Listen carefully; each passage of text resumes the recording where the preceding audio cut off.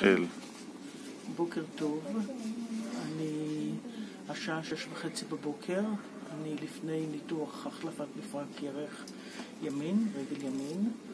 אה, כמו שאתם רואים, אני לבושה למשעי. לא רואים את כולך. מה? לא רואים את כולך. לא משנה, אבל רואים שאני בחלוק כן. בבית חולים והכל.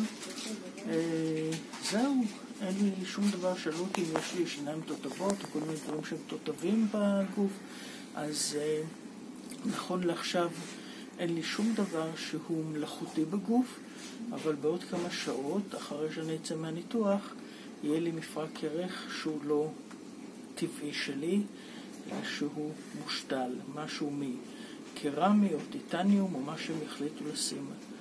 אה, תודה רבה לכם שהייתם איתי, ונתראה בעוד כמה שעות אה, אחרי שאני אסיים את הניתוח, אם אני אוכל לדבר. להתראות.